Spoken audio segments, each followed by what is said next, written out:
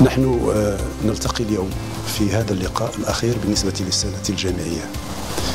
وهذه السنة كما علم الذين تابعوا أنشطة ملتقى الحضارات كانت مهتمة بالشباب.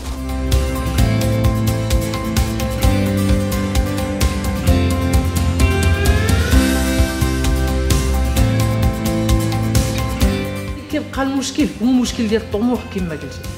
حنا عندنا طموح. كاين طموح ولكن هذاك الطموح كما كنشوفوا في الواقع الملموس ديالنا هو طموح فئوي يعني فئة دون أخرى.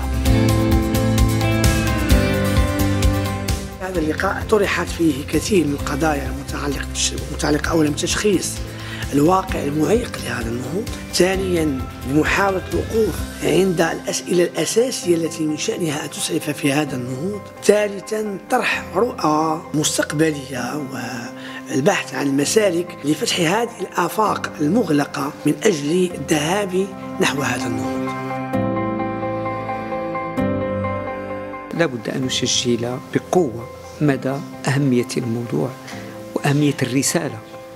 وأهمية المسؤولية التي يتحملها شبابنا اليوم في بلادنا وفي وطننا العزيز. شبابنا اليوم اللي هو المستقبل هو مستقبل المغرب. وشبابنا اليوم مطالب أكثر من أي وقت مضى بالتعبئة وبالانخراط في هذه المسؤولية المسؤولية الوطنية وهذا النهوض الحضاري الذي لن يتأتى إلا من خلال المعرفة ومن خلال العلم ومن خلال بذل المجهودات ومن خلال الانخراط في المجتمع المدني خلال في جميع الأوراش الوطنية التي ينظمها آه، المغرب وتنظمها آه، بلدنا الحبيب.